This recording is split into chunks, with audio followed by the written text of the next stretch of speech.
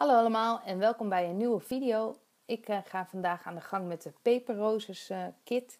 En daar zitten deze mooie papieren in. Ik wil deze leren achtergrond gebruiken ja, als achtergrond. Ik vind deze pagina heel erg mooi. Dit is van Maggie Holmes.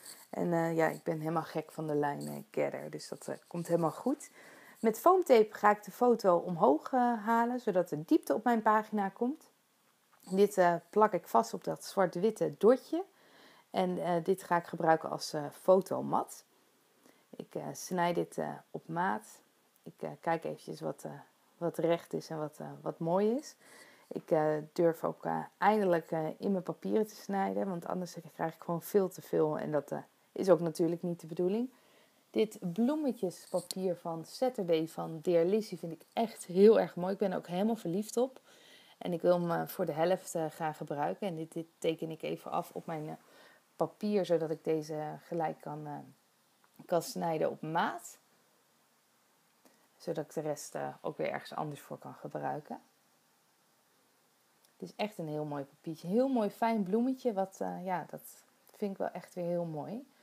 Ik ben aan het kijken waar ik de foto ga plaatsen en waar ik de achtergrond ga plaatsen. Ik vind de mat, er moet nog iets onder de fotomat komen. En ik wil eigenlijk met het roze werken. En ik vind hier dat roze blokje, ook van de Care Collection. En dat is zo'n heel klein roze vierkantje. En die ga ik gebruiken als, uh, nog een keer als fotomat. Zodat er, uh, ja, dat roze van de bloemetjes ook weer terugkomt. En uh, ja, dat wil ik gebruiken. En dit snij ik allemaal op maat. Ik doe dit gewoon uh, met het oog. Ik reken niks uh, uit. Ik vind het ook altijd wel leuk als er een stukje langer is of korter dan de andere. Dat uh, maakt mij eigenlijk niks uit. Hier haal ik de onderste strip er vandaan, zodat ik mijn pagina goed heb. En dan zie je ook echt hoe mooi dat leerpapier is. Ik vind het echt geweldig. Ik heb zelf ook nog wat van die vellen gekocht. Dus die komen er ook zeker nog in mijn album. Met lijmtape plak ik de onderkant vast. Ik ben even aan het schuiven hoe ik hem wil, uh, wil vastplakken. En dan ga ik aan de, aan de gang met die doily. Ik vind deze doily echt heel erg mooi. Die is heel mooi dun. En ik wil, zou wel graag willen weten of ik er nog meer bij kan kopen. Want deze is echt heel erg mooi. Die plak ik uh, linksboven op de, mijn foto. En dan met washi tape wil ik een lijntje maken. En dat is dat mooie blauwe kleurtje. En dat komt toevallig ook weer terug in het vest van Nicky. Dus dat is weer uh, heel mooi. Uh, zo uh, komt hij dan, zodat het blauwe er ook weer terug in komt. En dan ga ik door mijn uh, ephemera pack heen. En dit is van Celavi, van Pink Paisley als ik het goed zeg. Ik vind deze zwarte tag echt heel erg mooi. En oh la la vind ik ook een leuke spreuk om erbij te doen. Ik ben goed aan het schuiven waar ik het allemaal neer wil plakken en neer wil leggen. Ik weet zeker dat ik deze tag gebruik, dus ik ga hem ook gelijk vastplakken. En ik ben nu bezig met het roze lintje wat om de kit heen zat. Die wil ik gaan gebruiken als een soort uh, ja, aan de bovenkant, zodat er een labeltje komt.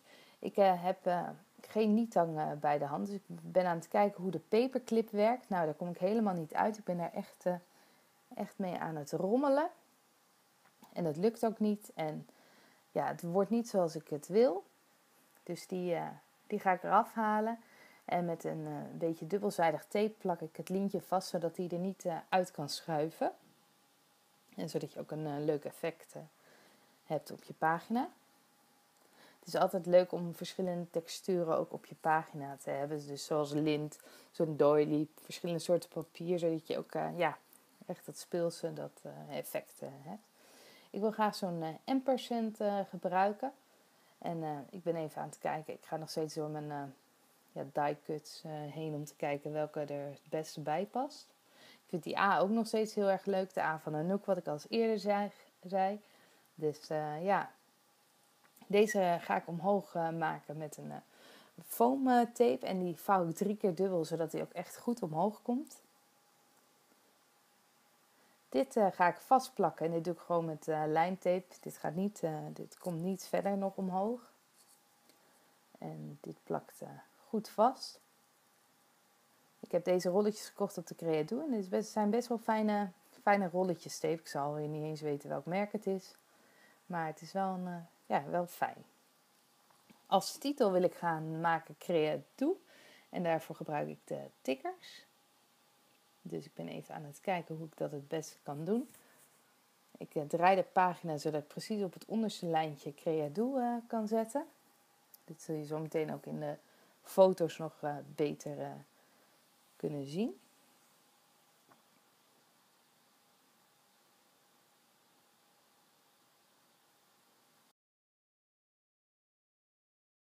Ik eh, ben nog aan het schuiven met dit kleine roze bloemetje. Vind hem erg leuk, maar hij past net qua kleur niet bij, eh, bij deze kleurroze die ik eh, gebruik. Ik ga nog even door de chipboards van de Gather Collection. En daar plak ik alleen het bannetje van op deze pagina. En dan is mijn pagina af. Ik hoop dat jullie hem leuk vonden. Doe dan een duimpje omhoog. En tot de volgende keer. Doeg!